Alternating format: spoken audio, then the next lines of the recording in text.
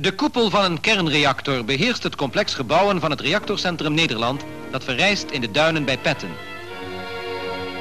Een kleinere reactor die evenals de grote bestemd is voor wetenschappelijk onderzoek en opleiding van bedieningspersoneel is reeds in gebruik.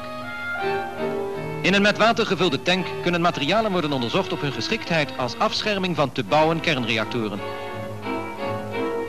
Met behulp van een lange buis brengt men materialen in het stralingsveld van de reactor om gegevens te verkrijgen over bijvoorbeeld de samenstelling van het materiaal door de omzettingen die in de stof worden veroorzaakt. De kern van de reactor bestaat uit splijtstofelementen die in een ringvormige ruimte staan opgesteld omgeven door blokken grafiet. Voor afscherming van de kern worden afneembare blokken beton gebruikt. Als laatste afdekking dient een ronde betonplaat waarin openingen zijn aangebracht. De kern is verder geheel omgeven door beton. Wanneer de kern is afgesloten, laat men de blokken grafiet door de openingen zakken.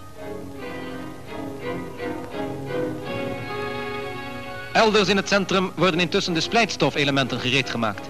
Zo'n element bestaat uit 9 aluminiumplaatjes die elk 21 gram uranium bevatten.